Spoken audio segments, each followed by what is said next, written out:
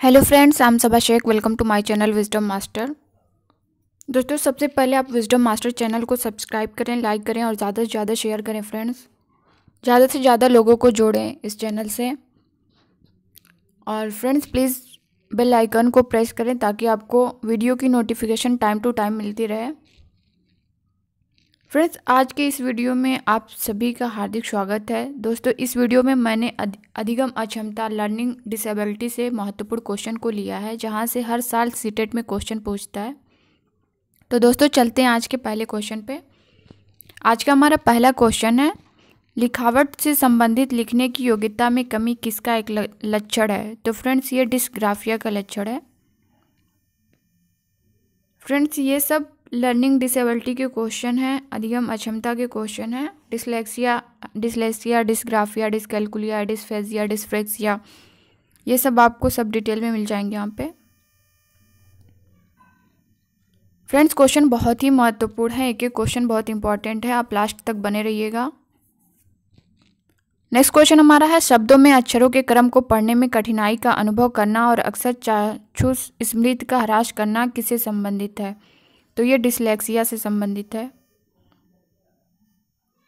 Next question हमारा है, भाषा व बोधन से संबंध विकार है। तो फ्रेंड्स ये भाषा घात है।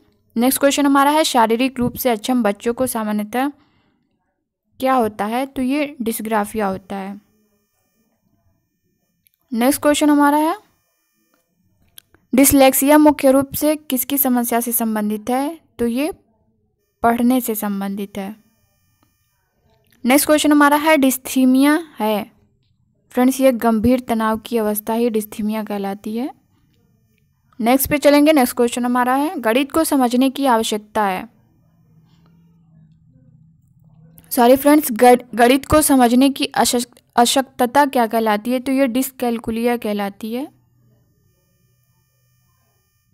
नेक्स्ट क्वेश्चन हमारा है डिस्ग्राफिया मुख्य रूप से किसकी समस्या से संबंधित है? तो फ्रेंड्स ये लिखने से संबंधित है।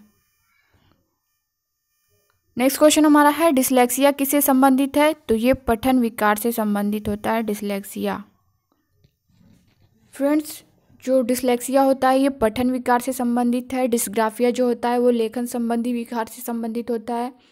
डिस्कैलकुलिया जो होता है, वो गणितीय कौशल संबंधी विकार से संबंधित होता है। डिस्फेजिया जो होता है, वो वाक क्षमता संबंधी विकार से होता है और डिस्प्रेक्सिया जो होता है, वो लेख, लेखन व चित्रांकन संबंधी विकार से होता है।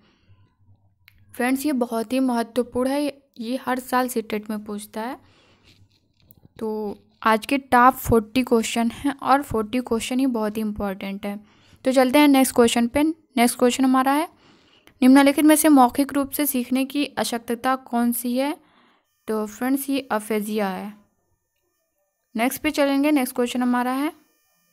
मनोविज्ञान शब्द का प्रयोग करने वाला पहला व्यक्ति कौन था? तो फ्रेंड्स मनोविज्ञान शब्द का प्रयोग करने वाला पहला व्यक्ति रूडोल्फ गायकल था 1590 में। इन्होंने प्रयोग किया था। नेक्स्ट क्वेश्चन हमारा है।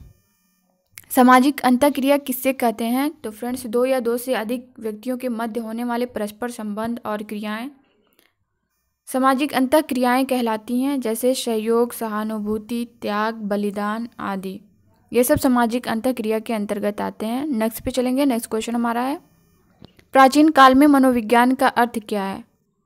प्राचीन काल में मनोविज्ञान का अर्थ आत्मा का विज्ञान। होता है। नेक्स्ट पे चलेंगे नेक्स्ट क्वेश्चन हमारा है, मनोविज्ञान को आत्मा का विज्ञान किसने कहा? तो फ्रेंड्स मनोविज्ञान को आत्मा का विज्ञान अरस्तु ने कहा था। क्वेश्चन बहुत ही महत्वपूर्ण है। नेक्स्ट पे चलेंगे नेक्स्ट क्वेश्चन हमारा है, सत्रहवीं शताब्दी में मनोविज्ञान को क्या कहा जाता था और ये किसने कहा?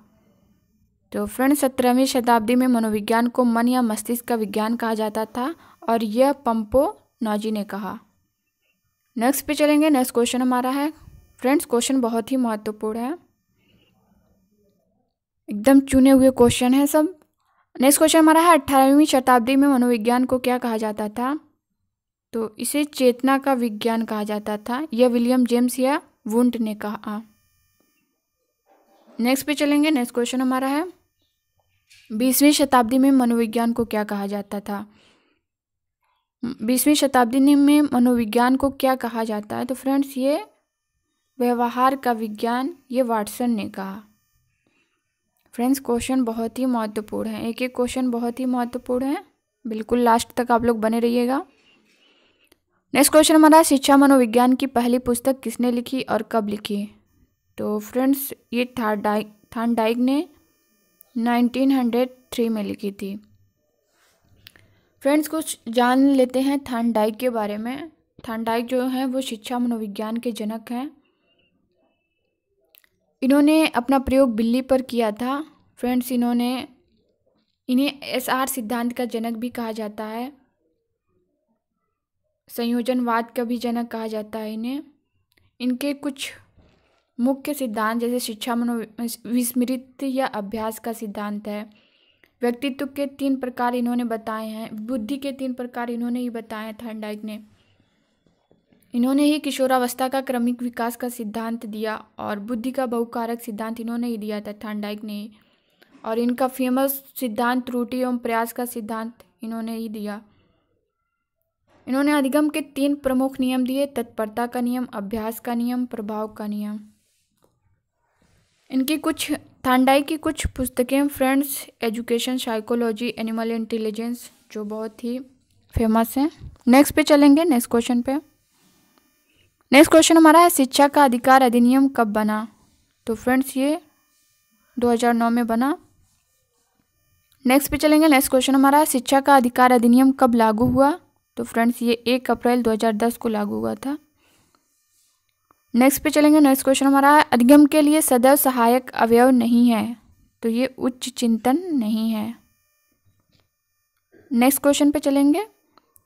जब शरीर के एक पक्ष के अंग का दिया गया प्रशिक्षण भविष्य में उपयोगी सिद्ध हो तो वह कहलाता है। एक पक्षीय अंतरण कहलाता है फ्रेंड्स नेक्स्ट पे चलेंगे। नेक्स्ट क्वेश्चन हमारा है, जिस साक्षात्कार के माध्यम से छात्र के घर तथा वातावरण के संबंध में सूचनाएँ प्राप्त की जाती हैं, वह निदानात्मक साक्षात्कार कहलाता है।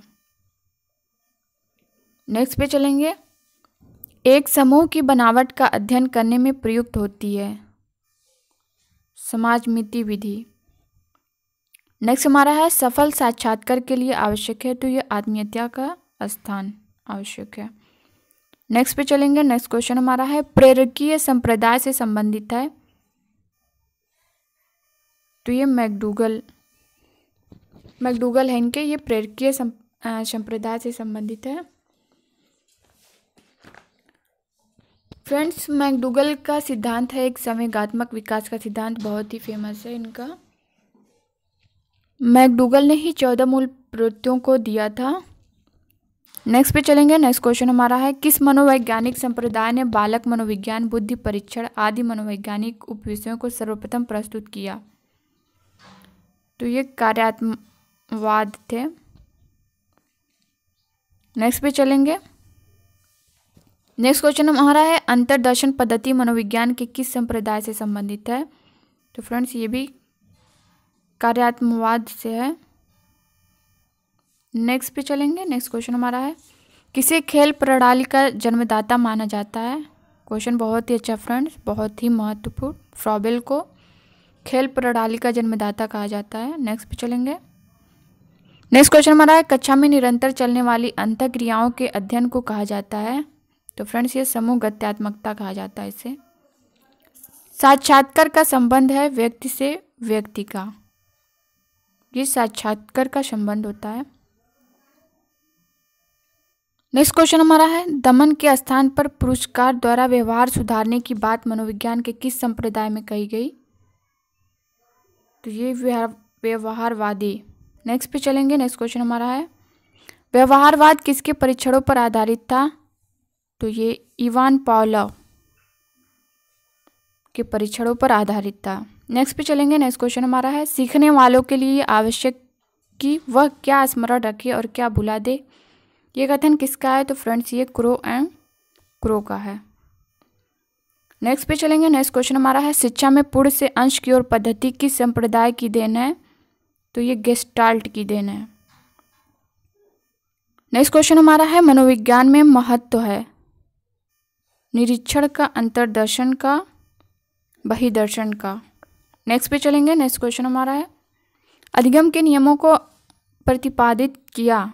थानडाइक ने किया था। नेक्स्ट पे चलेंगे नेक्स्ट क्वेश्चन हमारा है। खेल गीतों व उपहारों द्वारा शिक्षा दी दी जाती है। तो ये किंडर पद्धति में दी जाती है। नेक्स्ट क्वेश्चन हमारा है, मनोविश्लेषणात्मक प्रणाली के जन्मदाता हैं तो ये सिगमन फ्राइड है फ्रेंड खेल विधि के भी जन्मदाता हैं। नेक्स्ट क्वेश्चन हमारा है, प्रयोजनवाद विधि किस संप्रदाय पर आधारित है? तो फ्रेंड्स ये प्रेरकी संप्रदाय पर आधारित है। तो फ्रेंड्स ये थे आज के टॉप फोर्टी क्वेश्चन बहुत ही महत्वपूर्ण एक एक क्वेश्चन बहुत महत्वपूर्ण है फ्रेंड्स तो फ्रेंड्स मिलते हैं नेक्स्ट वीडियो में। तब तक के लिए bye bye take care thank you so much friends